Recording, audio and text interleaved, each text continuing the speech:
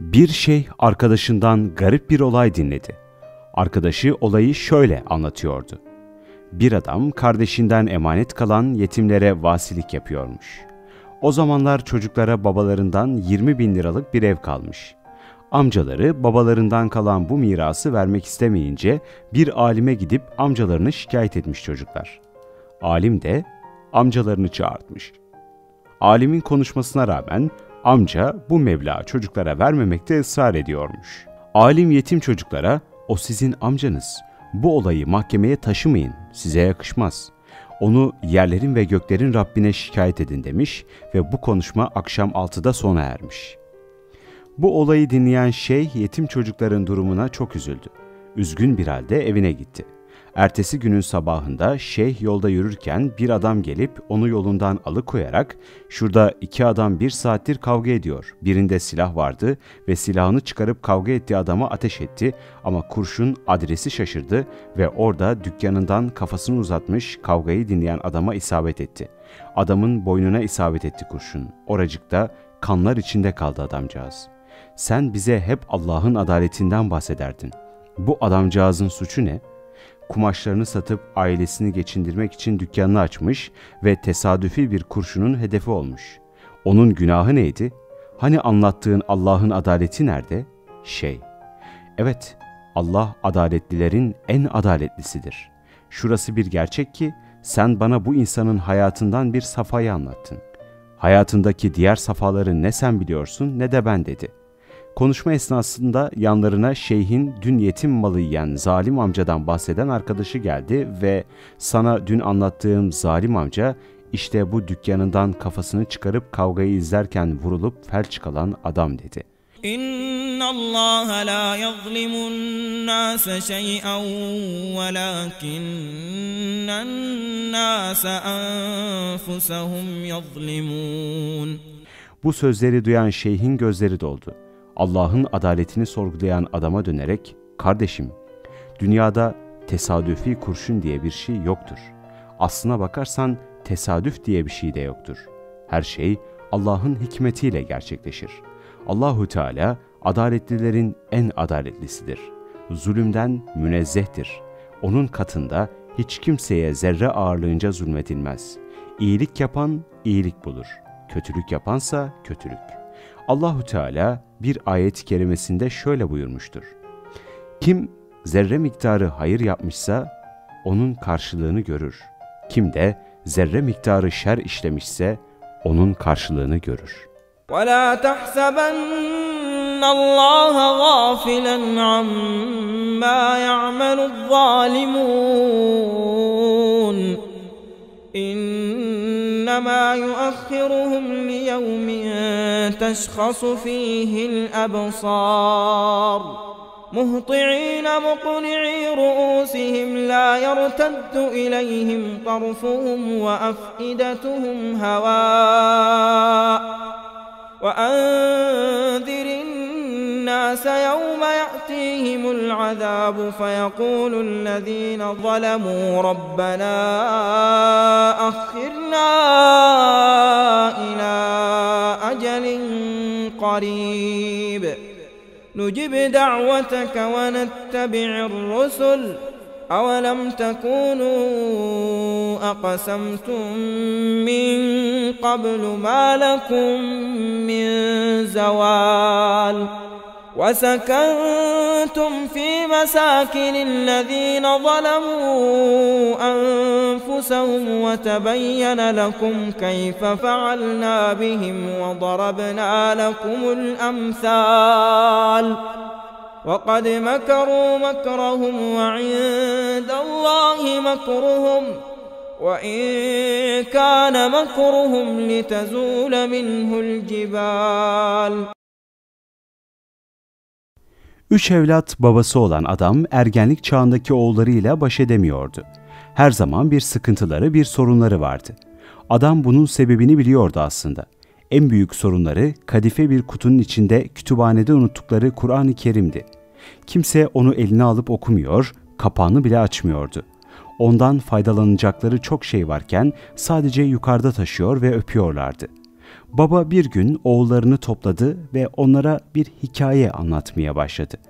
Bir baba ekmek parası kazanma umuduyla eşi ve üç evladını arkasında bırakarak uzak bir ülkeye gitmiş.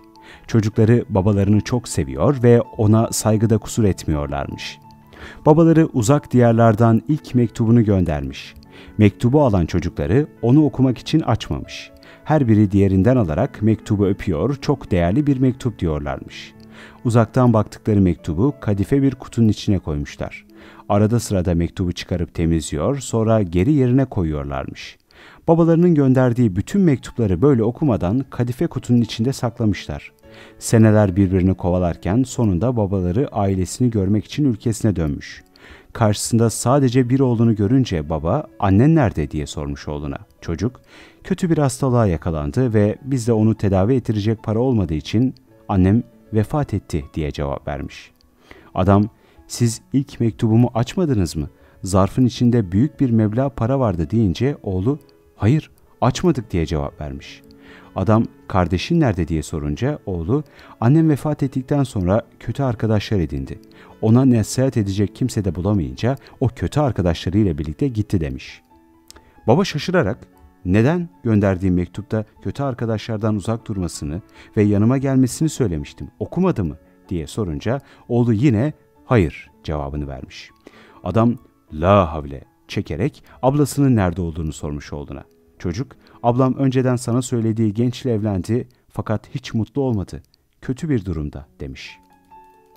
Adam bir başka mektupta ona o gencin kötü ahlaklı olduğundan asla evlenmemesi gerektiğinden bahsetmiştim. Okumadı mı demiş sinirlenerek. Oğlu hayır okumadı. Biz o mektupları güzel bir kutunun içinde sakladık. Her zaman alıp öper yerine koyardık ama hiç okumadık demiş. Sonra baba anlattığı hikayeyi keserek oğullarına ben bu hikayeyi dinlediğimde bu ailenin hayatlarının nasıl alt üst olduğunu düşündüm. Babalarının mektuplarını okumamaları onları bu hale getirmişti. Çünkü çocukları o mektupları okumamış, öperek saklamışlar fakat istifade etmemişlerdi. Mektupta söylenenleri de okumadıkları için hayatlarına geçirememişlerdi. Şimdi size gelelim evlatlarım. Siz de şu an onlar gibisiniz. Kur'an-ı Kerim'i kadife kılıflarda saklıyor, onu her gün takdis edip öpüyorsunuz. Fakat onu açıp okumadığınız için onunla amel etmiyorsunuz. Allahü Teala Kur'an'ı bize üzerinde yürüdüğümüzde doğru yolu bulacağımız bir yol kılmıştır. Bu mübarek kitapta her sıkıntımız için bir çıkar yol vardır. Allahü Teala'nın da şu ayetinde buyurduğu gibi o bereket, rahmet ve nurdur.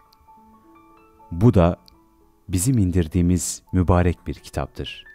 Ona uyun ve günahtan korunun ki size rahmet edilsin.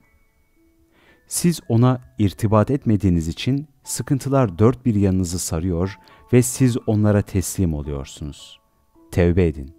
Kur'an'ı kadife kutulardan çıkarın ve okuyun onu. Hayatınıza rehber edinip onunla amel edin ve ona sımsıkı sarılın. Sakın bırakmayın. Sıkıntı ve sevinç hallerinde Kur'an'a sığının.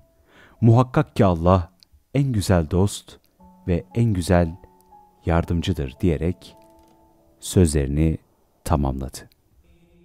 İnnellezîne keferû bizzikri lemmâ câehum وإنه لكتاب عزيز. لا يأتيه الباطل من بين يديه ولا من خلفه. تنزيل من حكيم حميد. ما يقال لك إلا ما قد قيل للرسل من قبلك. إن ربك لذو مغفرة وذو عقاب أليم. ولو جعلناه قرآنا أعجميا لقالوا لولا فصلت آياته أعجمي وعربي. قل هو للذين آمنوا هدى وشفاء والذين لا يؤمنون في آذانهم وقر وهو عليهم عمى.